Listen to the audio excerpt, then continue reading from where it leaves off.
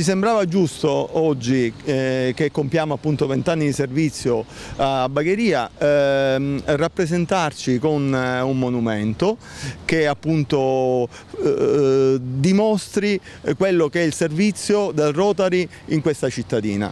E ecco perché abbiamo chiesto all'architetto Cettina Castelli di disegnare, progettare eh, questa stele e, e, siamo felici di questo. Ecco. Ecco, cosa rappresenta il monumento? Allora, il monumento intanto rappresenta la ruota del Rotary, è il nostro simbolo, la torre di Palazzo Butera, che è appunto quella che contraddistingue il club di Bagheria. La scelta del luogo non è casuale, volevamo che eh, questa, questa, stele fosse posta in centro e ci è sembrato opportuno metterla qua dove tra l'altro ci sono le scolaresche eh, e quindi hanno possibilità di conoscere ancora meglio quella che è l'attività del Rotary che comunque nelle scuole ha ehm, molta presenza. E poi eh, ci piace eh, appunto pensare che mh, facendo qualche piccola cosa si possono fare molte cose, come appunto disse padre Puglisi,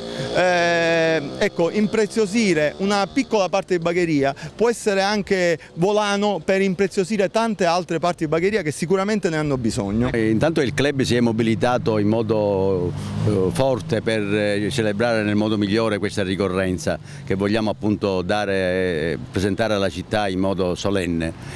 Per quanto riguarda le finalità del Rotary, il Rotary è un club di service, è un club di servizio che opera nel territorio per il miglioramento della, della comunità.